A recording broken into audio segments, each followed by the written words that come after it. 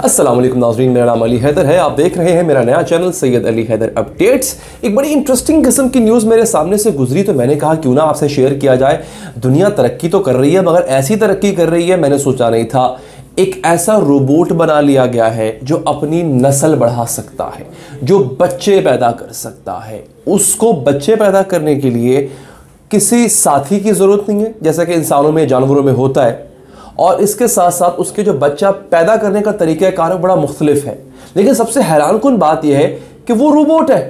क्या आपके लिए ये कम हैरानी की बात नहीं कि वो अपने आप में एक रोबोट है जो कि बच्चे पैदा कर सकता है, अपनी नस्ल को आगे बढ़ा सकता है? हुआ क्या दोस्तों? हुआ ये दोस्तों कि यूनिवर्सिटी ऑफ़ वर्मंट टेफ्टस और हार्वर्ड इन तीनों यूनिवर्सिटीज़ बहुत बड़ी यूनिवर्सिटीज़ हैं। इनके साइंसदानों ने दोस्तों इकट्ठे होकर इनके साइंसदानों ने एक तजुर्बा किया। और वो तजुर्बा हो गया कामयाब। वो तजुर्बा बेसिकली उन्होंने 2020 में किया था। उस तजुर्बे में उन्होंने एक अफ्रीकी मेंढक है।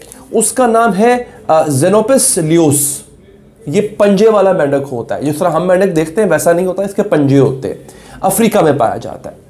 इससे उन्होंने इसके खुलिए लिए, इसको स्टेम सेल्स कहते हैं। थोड़ा टेक्निकल बल्कि काफ़ी टेक्निकल है, लेकिन मैं इतना नहीं बताऊँगा आपको। मैं बड़ी सादा सी चीज़ बताऊँगा आपको, मजीद डिटेल में टेक्निकलिटीज़ में मैं नहीं जाऊँगा। उसके खुलिए लिए, उसके स्टेम सेल्स लिए, और उस स्टेम सेल्स को एक ख़ास टेम्परेचर में रख के, एक ख़ास दर्जा हरारत में रख के, उन्होंने उसको जो है वो ग्रो करने दिया। तो वो सी जिसे कहते हैं ना, ऐसे सी लिखा होता है इस तरह से सी की शक्ल का एक चीज़ तैयार हो गई। और जब वो चीज़ तैयार हो गई तो उसको उन्होंने प्रोग्राम किया आर्टिफिशियल इंटेलिजेंस जिसको एआई कहते हैं। बाकायदा उसकी प्रोग्रामिंग की गई।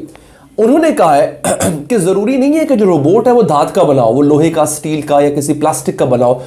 जो रोबोट है, वो गोश्त पोश्त का भी हो सकता है। ये एक नई एडवांसमेंट है साइंस में कि रोबोट गोश्त पोश्त का भी हो सकता है। लिहाजा ये गोश्त पोश्त का रोबोट है जो कि अपनी नस्ल में खुद इजाफा करता है अगर वो मादा है तो उसको मेल की ज़रूरत नहीं, अगर वो मेल है तो उसको फीमेल की ज़रूरत नहीं होती, अकेले ही काम कर सकता है। करता ये है कि ये खुद से मज़ीद ऐसे रोबोट जो है वो पैदा कर सकता है, क्योंकि इसके स्टेम सेल्स में खुद से जुदा होने की सलाहियत मौजूद है। अब थोड़ी टेक्निकल बात आ गई आपको समझ ना आएगी, लेकिन अलबत्त आप, क्योंकि मैंने खबर पढ़ी है और ये खबर एक्सप्रेस ने भी छापी है और बड़े अखबारों ने भी छापी है तो ये इसका जो नाम दिया गया है, इसको नाम दिया गया है जेनोबॉट का नाम दिया गया है इसको। जेनोबॉट का इसको नाम दिया गया है। और सबसे हैरत अंगेज बात यह है कि ये एक समझदार रोबोट है। इसमें आर्टिफिशियल इंटेलिजेंस का भी इन्होंने तड़का लगा दिया है। अब ये मुझे हैरानी होती है कि यार अगैन साइंस कहाँ से कहाँ पहुँच रही है? ये चीज़ें हम फ़िल्मों में देखा करते थे। मतलब मुझे याद है आज तक फ़िल्में बन रही हैं कि रोबोट्स हैं और एक टाइम आएगा वो रोबोट्स इतने जहीन हो जाएँगे कि वो इंसानों को आउट स्मार्ट कर देंगे इंसानों से आगे निकल जाएँगे। फिर बाज़ फ़िल्में ऐसी होती हैं कि रोबोट इतने स्मार्ट हो जाएँगे कि वो इंसानों की दुनिया पर कब्जा कर लेंगे। इंसान महकूम हो जाएँगे रोबोट्स हाकिम हो जाएँगे। आ, मुझे तो लगता है कि कहीं ये सच हो भी ना जाए। क्योंकि देखिए हुआ क्या? ये जो कोरोना है कोरोना अभी आया है। 2014 में एक मूवी आई थी आ, नाम मुझे भूल गया कंटेजेंट हाँ कंटेजेंट उसके नाम था शायद। 2014 में उन्होंने बता दिया था कि कोरोना जैसी एक बीमारी आएगी उसकी ये ये अलामत होंगी। उस मूवी में बताया गया था कि कैसे एक लड़की को कोरोना होता है चाइना में। चाइना से वो अमेरिका आती है अमेरिका से पूरी दुनिया में कोरोना फैल जाता है। उसका नाम भी कोरोना ही था बाय द वे दो हज़ार चौदह की बात कर रहा हूँ। और उसमें ऐसे ही होता था कि आपका जो है वो यहाँ पे लंग्स में जाले बन जाते थे और आपको खांसी और फिर कुछ अर्से के बाद मौत हो जाती थी। एग्जैक्टली exactly वही चीज़ छः साल के बाद 2020 में आ गई।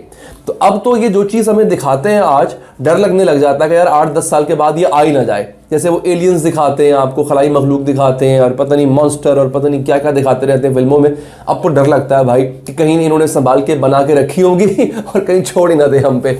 जनाब, ये एक बड़ी आम किस्म की, बड़ी दिलचस्प किस्म की अपडेट थी। मैंने सोचा आपसे शेयर करता चलूँ। अगर आपको वीडियो पसंद आई हो, उसको लाइक कीजिएगा, अपना फीडबैक देने के लिए कॉमेंट कीजिएगा। नया चैनल है, हर तरह की इन्फॉर्मेशन इन आपको यहाँ पर मिलती रहेगी। चैनल को सब्सक्राइब कीजिएगा। अल्लाह के बाद।